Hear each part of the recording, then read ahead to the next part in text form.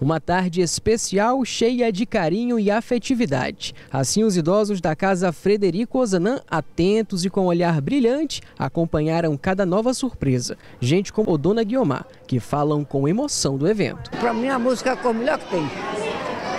É a nova, eu gostei de brincar. A música é tudo. Viu? Não, não tem tristeza que a música não faça você sorrir. A celebração marcou as homenagens ao Dia dos Pais e também é o pontapé inicial do quarto passeio ciclístico, campanha anual para arrecadar fundos para a manutenção da instituição, que é mantida exclusivamente por doações. Como todo abrigo, idoso é um, é um pessoal que vem de casas que são sofridos, que não tem família, a família não dá realmente esse apoio. A gente é, é, tenta fazer o melhor possível para que eles sempre tenham aquelas datas alusivas a eles, ou o Natal, o Ano Novo, uma festividade para que eles possam comemorar também junto com a família. O nosso objetivo maior do, do passeio ciclístico é, é, ajudar a pagar o 13 terceiro dos, dos funcionários. Por quê? Porque os nossos idosos, eles não, têm, eles não são aposentados, eles têm benefício. A festa contou também com a alegria e animação da banda do 25BC. E em visita à instituição, o coronel Nixon falou desse compromisso do Exército Brasileiro com temáticas sociais. Nós identificamos aqui um lado social importante, é um compromisso do Exército Brasileiro que continua mantendo ali as suas tradições, seguindo o seu slogan de Exército Brasileiro, Braço Forte e Mão Amiga.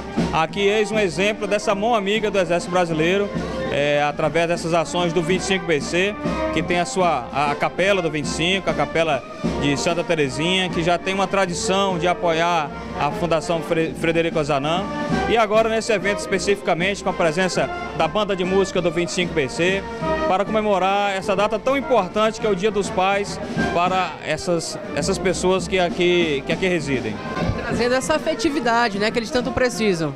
Exatamente. É importante que é, é, essa não só a alegria que a banda traz, mas também o calor humano da, da, dos integrantes da capela, dos militares, essa visita e compartilhar um momento tão marcante, tão importante para, para cada cidadão. E em um verdadeiro encontro de gerações, crianças de seis meses a seis anos de uma creche do centro da capital, em visita à instituição para doação de alimentos não perecíveis e material de limpeza, mostraram porque o amor é a linguagem universal.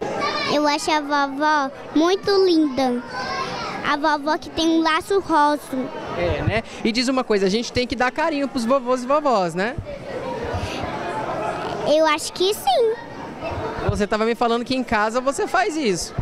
Eu faço primeiro do o abraço, depois eu dou a benção e depois dou um beijo. Nesse momento a gente vem fazer uma troca de experiências. Trouxemos o início da idade para é, ter esse contato com o final da idade, né? E quão valioso para eles é essa troca de experiências. Então a gente veio hoje trazer mais ou menos uns 100 quilos de alimentos que a gente conseguiu arrecadar no mês de junho, na nossa festa junina, e estavam guardados na escola.